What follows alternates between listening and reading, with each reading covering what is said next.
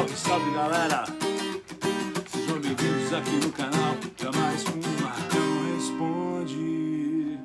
Classe A galera! Muito bom estar com vocês, sejam bem-vindos aqui no canal para mais um episódio do Marcão Responde, né? Episódio número 3, né? E dessa vez eu separei perguntas bem interessantes que vocês mandaram para mim aqui no YouTube, no Instagram também e no Facebook. É, mas antes de começar, se você ainda não é inscrito no canal, aproveita, se inscreva e no final do vídeo, se você curtir, deixe um like. Se você não curtiu, deixe um like do mesmo jeito que tá tudo certo, beleza? Se você mandou sua pergunta e ela não entrou ainda, nesses episódios, fique tranquilo que provavelmente vai entrar nos próximos, beleza? Então é isso aí, bora pro vídeo! Danilo Rodrigues está fazendo uma pergunta aqui, ó. Qual era o carro que você bateu no trem, Marcão? Esse álbum é muito foda. Obrigado por compartilhar tanta coisa legal sobre os bastidores da gravação, do 100% Charlie Brown. Legal, Danilo. Classe A pergunta, meu. Nossa, nem lembrava mais dessa história, né? Pois é. Essa história, galera, para quem não sabe, ela tá ali no encarte, né, do CD do 100% Charlie Brown, que nós colocamos ali características de cada um da banda, né, meu? Então no meu realmente tem essa referência que foi uma passagem que aconteceu comigo, uma passagem ruim até na verdade, aqui em Santos, né? É, a história foi mais ou menos o seguinte. Eu estava é, dirigindo, tava com um amigo aqui, né, meu, um brother aqui em Santos, dirigindo o carro meio à noite assim, e tava caindo uma chuva torrencial assim de litoral, aquela chuva muito forte, né?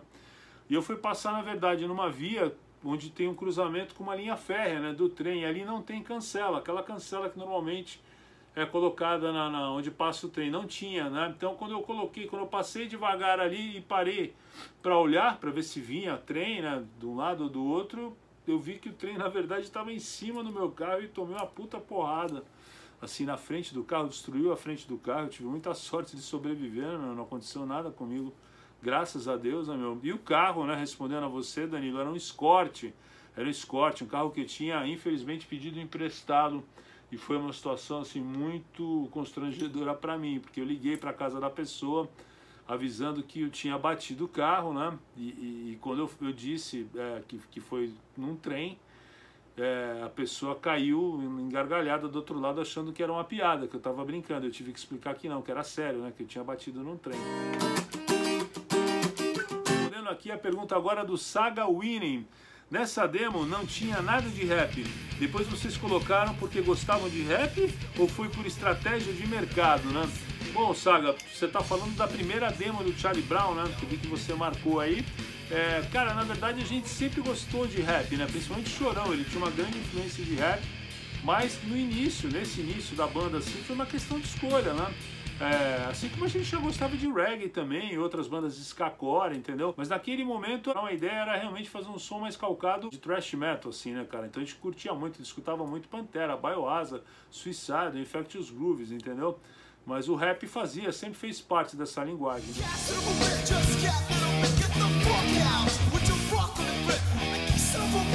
aconteceu é que com o tempo a gente começou a agregar outros elementos dentro do som da banda, elementos que a gente já curtia, né? Foi por questão de querer abrir o horizonte musical, assim, simplesmente por isso.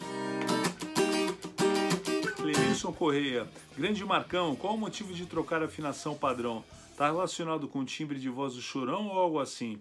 E como vocês faziam no show quando tinham que tocar uma música como essa? Esse lance da afinação meio tom abaixo, na verdade, não tem nada a ver com a voz, com aquelas coisas de tonalidade da voz, né? Foi simplesmente por a gente gostar da sonoridade, né? Na verdade, eu levei isso pra banda, porque eu já tocava assim, né, meu? Tinha algumas bandas que eu curtia que usavam essa afinação meio tom abaixo, né? O próprio Van Halen, é, então ficava um pouco mais pesado, né? Por ser um pouco mais grave, os harmônicos soavam diferentes, assim, nas cordas soltas. Então a gente acabou adotando isso e, e, gravamos todos os discos da banda assim, né, meu? Já as afinações das músicas O Lixo e o Luxo, né? Somos poucos, mas somos loucos.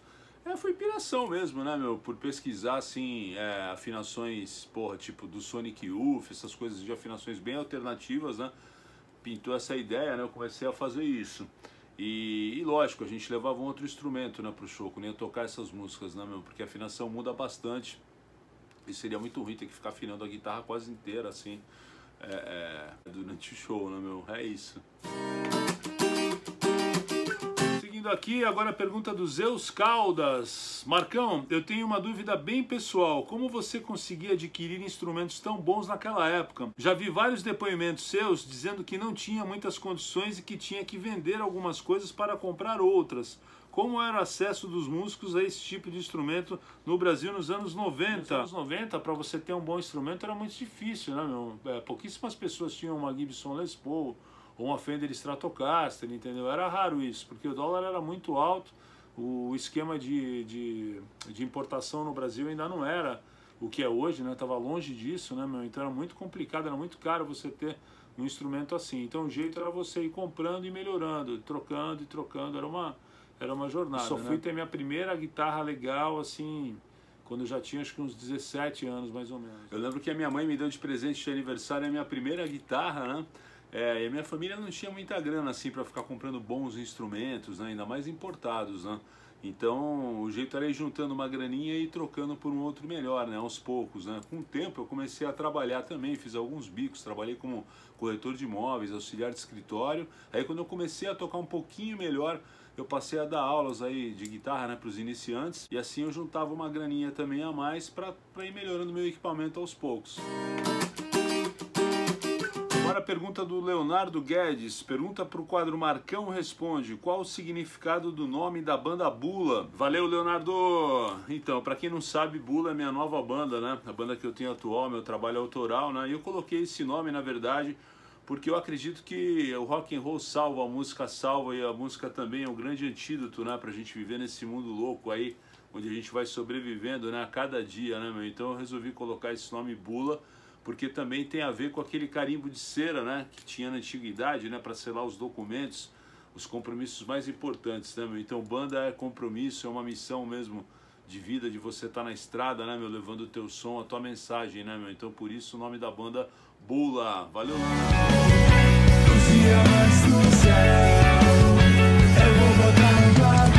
Agora a pergunta do Daniel 13 Black. Marcão, nessa tour ia rolar um show aqui em Londres, por algum motivo não rolou. Conta para nós o que aconteceu.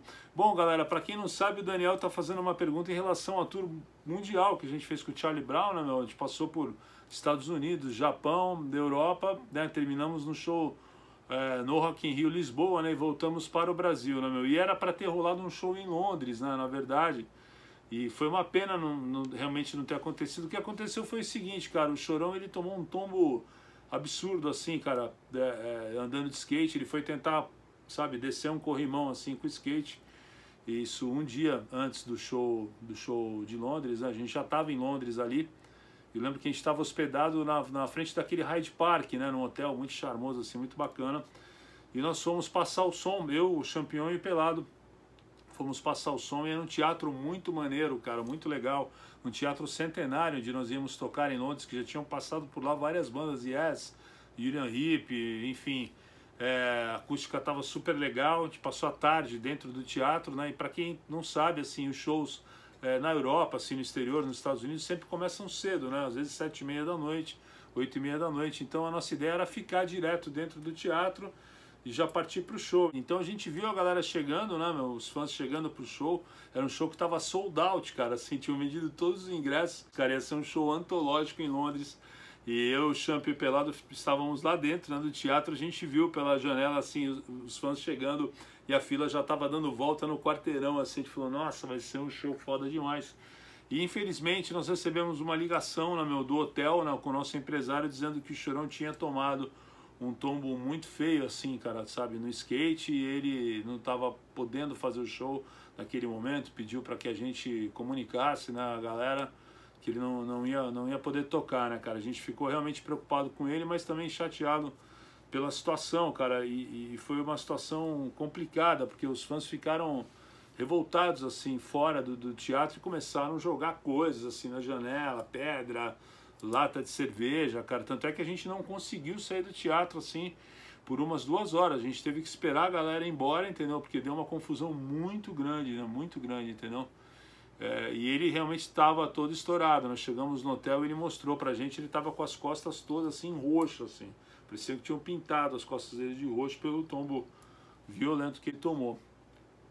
Então foi um episódio realmente triste, cara, porque, porra, E o Londres é uma cidade ó, historicamente muito rock and roll e ia ser muito legal tocar lá, mas eu realizei esse sonho, né, meu? Eu toquei realmente em Londres em 2016, né, cara?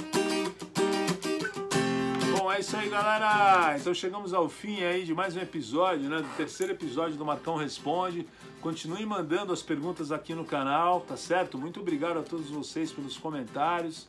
Tamo junto. Em breve a gente se vê aqui no canal. Demorou? Fiquem bem aí. Boa semana. Valeu, família. Fui!